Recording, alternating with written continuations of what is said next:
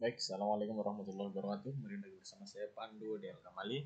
Di sini saya akan mengimport file JPG untuk menjadi master cam untuk kita bikin ukiran caranya seperti ini. Kita klik R paling atas. Oke. Nah, kita pilih, kita pakai yang ini ya. Uh, kita oke. Okay kemudian 100 kemudian lain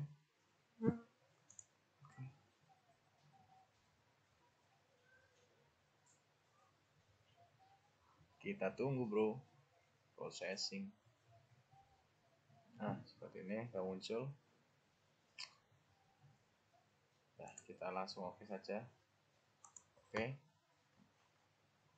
Baik, seperti ini kita bikin boxnya dulu. nah, ini bebas kita produk box. Dan kita hanya cukup mengatur nih ketebalannya saja. Kita pakai ketebalan 15 nah masalah ter tergantung kebutuhan ya bro. Oke nih kalau dari samping ke sini nih. Ini diibaratkan kotak atau kayu atau apa terserah kalian mengibaratkan ini apa. Baik kita langsung ke toolpad kita pembuatan. Nah kita scan dan ini jangan sampai terlewat. Kuning-kuning semua ini. Nah, seperti ini. Baik ya seperti ini terus.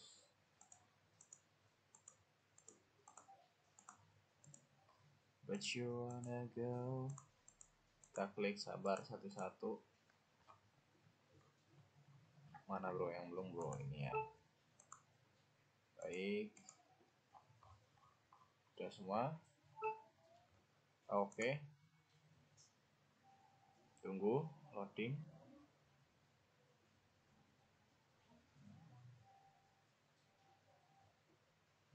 Lama sekali loadingnya. Nah, ini kita cari toolsnya. Kita pakai tools dengan uh, 60 derajat, pemiringan 60 derajat ya. Nah, di sini kita atur dulu loading absolute semua absolute dan kita atur kedalamannya dulu. Ayo.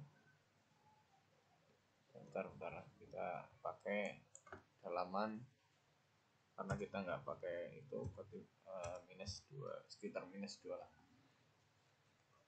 Dan kita routing biar zigzag so finish toolpadnya. Nah tadinya 0,1 dengan sudut itunya paling bawah dari 0,5 biar nggak luber. Oke ini terserah mau toolpad nomor berapa kita kasih nomor satu aja. Oke. Tentu saja oke.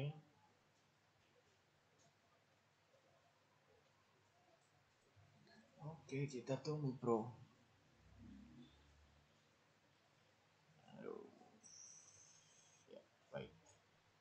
seperti ini kita coba simulasikan.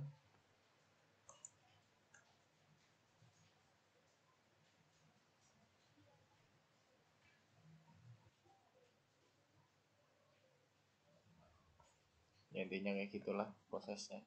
Terima kasih thanks for your attention. Wassalamualaikum warahmatullahi wabarakatuh